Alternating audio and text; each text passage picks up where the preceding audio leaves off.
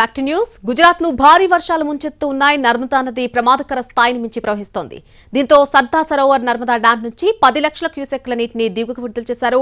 ఉక్కు మనిషి సర్దార్ వల్లభాయ్ పటేల్ విగ్రహాన్ని వరద నీరు చుట్టుముట్టింది. స్టాట్యూ ఆఫ్ యూనిటీ తాకుతూ ప్రవహిస్తోంది నర్మదా.